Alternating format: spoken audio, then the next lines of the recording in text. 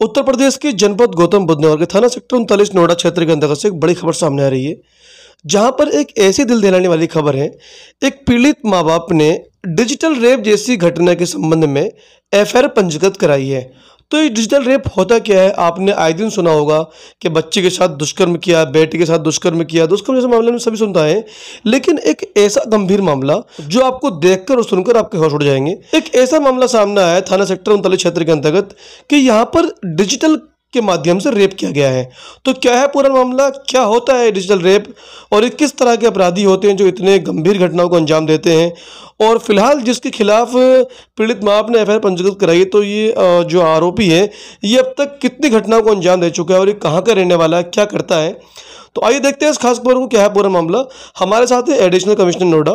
तो हम जानने की कोशिश करेंगे कि किस तरह का अपराध है और ये अपराधी कौन है? इसके संबंध में पीड़ित माँ बाप ने डिजिटल रेप जैसी घटना के बारे में एफ़ पंजीकृत कराई है। तो आइए देखते हैं उस खास खबर को। थर्टी नाइन में डिजिटल रेप मामला सामने है सर क्या कुछ मामला है? इस संबंध में वादिया ने एक अभियोग पंजीकृत कराया है। कि उसकी चार साल की बच्ची के साथ डिजिटल रेप जैसी घटना कारित की गई है।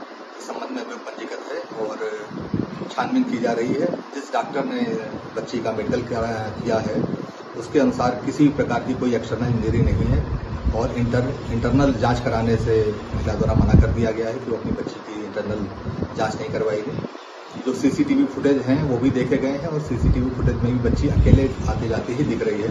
कोई भी उसके साथ में नहीं है। ये पूरी फुटेज वादिया को भी दिखाई गई है। अभी तक जितनी जाँच हुई, उसके आधार पर कोई अभी दिखाई नहीं दे रहा है। फिर भी सारे तथ्यों की जाँच की जा रही है और जो भी तथ्य संज्ञान में आएँगे, उसके आधार पर अग्रिम कार्रवाई की जाएगी।